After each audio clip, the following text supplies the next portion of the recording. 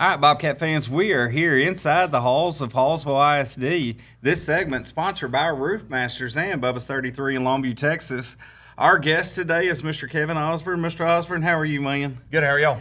Well, Well, Pistol, Pete. Pistol Pete number 89. Pistol Pete, Pistol Pete, number 89. Now, I, I, I'm going to go back to that because I actually have some questions on that. But we're here, ag mechanics teacher. So, how many actual classes do you teach? I teach four classes a day of ag mechanics. And how many students roughly do you are you over ballpark wise? I'm over about 130 between the A and B schedule. I run 130 through the class each day. And, so, when So they I guess start, every two days. okay. so they start as a freshman. Uh, start as a sophomore. Okay. The, the freshman class is the principles of ag, just a foundational ag class, and then the uh, their sophomore year they can get into the introductory class, and then junior senior they progress on to a double blocked. So they don't walk out there striking an arc right off the bat. No, we, we got to start. We got to start from the bottom. Did, is a lot of what you're doing like safety precautions and everything? safety, just kind of getting the foundation because everybody runs a, a shop or a job site different than than what I would or what you guys would. So I try to teach them just a little bit of everything so they can have that skill set to go to a job site and be able to adapt to how you would run it compared to how Guy would run it. That way they're just proficient in everything. I can tell you this: I've been down in his his ag shop. The kids, that they're safe. They they they're prepared to have their PPE on. It's the shop is clean. You you teach them real life experience.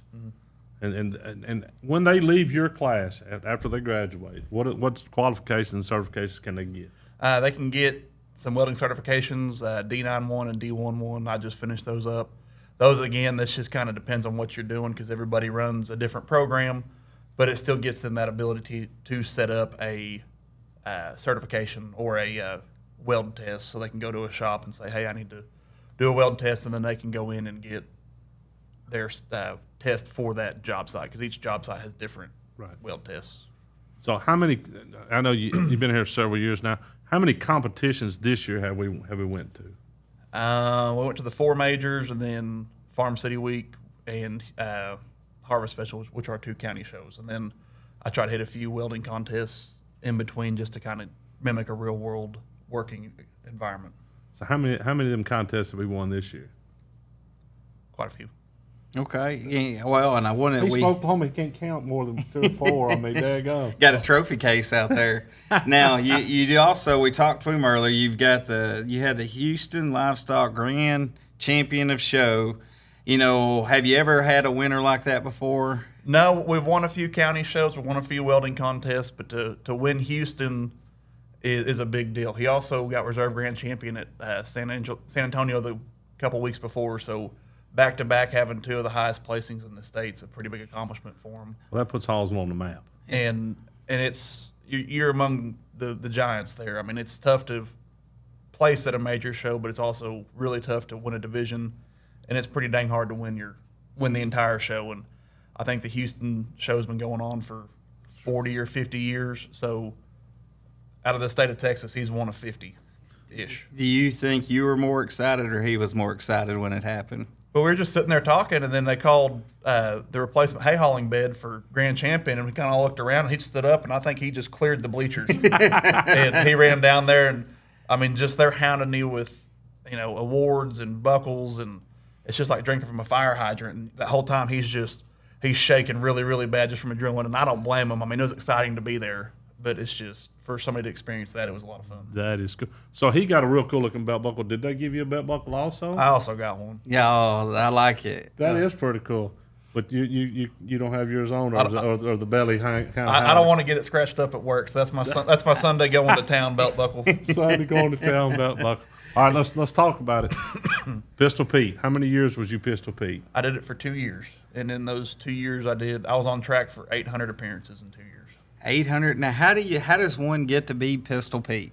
So was it a competition? Uh, it's just an interview and tryout process, but I started doing that when I was like five and six. My grandpa worked at Oklahoma State, so I was always around it, and then I started like watching Pistol Pete and talking to Pistol Pete's, and then tried out my senior year of high school and continued on until I got it.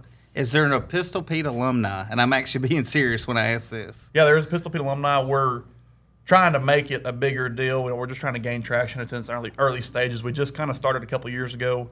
I'm in charge of the like the apparel committee, so I come up with t-shirt designs and hats and get all the embroidery done, take all the orders. We've got uh, like a hang your hat committee where the alumni can go do uh, like outreach programs. Like we just had a remember the ten run a couple weeks ago. I guess it was last weekend where Okay. they had a marathon and a 5K that some Pete's ran and helped volunteer at to honor some people at our college who were uh, lost in a plane crash. So I have seen with actual pictures this man in full pistol Pete with the big head doing a cartwheel at, in front of your hay farm. Mm-hmm. So you still have the costume. I've got everything but the head. There's only four heads in existence, and two of them are carbon fiber, two of them are fiberglass, and they're Ask, ask him how much them heads cost. they were insured at one point for twenty five thousand apiece. Oh yeah, no, we got to get a, head, a Pistol Pete head. Yeah, yeah, I know it. Uh, Mr. Osborn is every year for Halloween. hey, well, thank you for joining us, Mr. Osborn. What you're doing with your students is amazing, man. It's uh, awesome to see Hallsville Ag. Oh yeah, he's growing, job developing the way it is. Fans at home, inside the halls of Hallsville ISD. We'll see y'all next time.